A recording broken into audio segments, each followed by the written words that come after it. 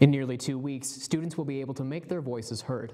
The midterm election is on November 4th. However, students can still technically vote now.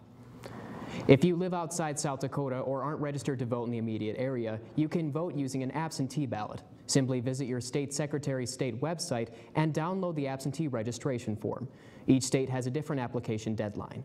You'll then receive a ballot to mail back. Students who are registered in the Vermillion area can vote in person on November 4th at the Armory. If you aren't sure where you're supposed to vote, check your state's website for a polling map station.